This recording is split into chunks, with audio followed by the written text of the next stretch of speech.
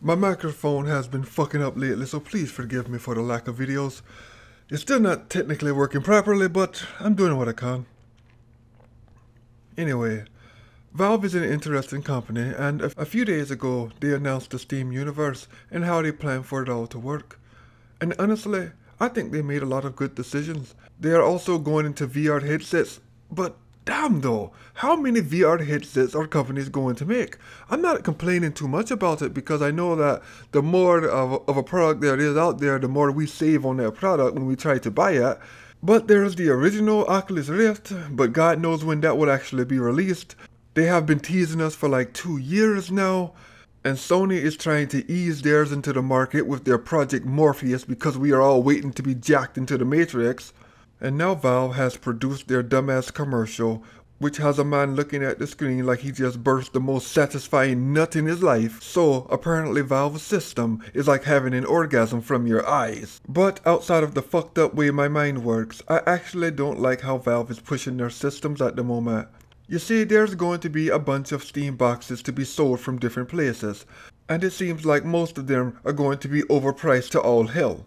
And with so many versions of the Steam box, people are going to become confused, and confused people do not buy the product. Valve has released the Steam OS beta for people to test out, and I like the look of it, but it still has a long way to go. What I would like to see from Valve is an official rating system built right into the Steam OS, like Windows has their Windows Index shut. I think Valve should do the same. The rating system will just scan your PC parts and tell you how good it is, like the, the grading system in the schools.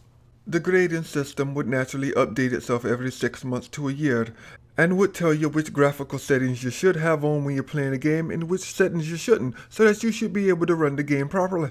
I mean, after all, they're advertising it as a gamer's paradise. Now, I admit that this might seem a bit intrusive to some of us, but if you want these things in outlets, then my way of thinking is that people should be able to walk in and see a system that has A, B, and C rating in terms of graphical capabilities. I mean, let's face it, consoles are simple to play and with no real hassle at all. It was just last gen that console users had to worry about burning games to hard drives. That's their main concern, how much how much hard drive space they have. I mean, you always hear PC users say that the consoles are so far behind PCs. Well, you know what? I know a lot of people out there who like living in the past. Anyway, I probably could have stated this better, but I'm really trying to get this microphone thing working again. But you all take care and you have a blessed day.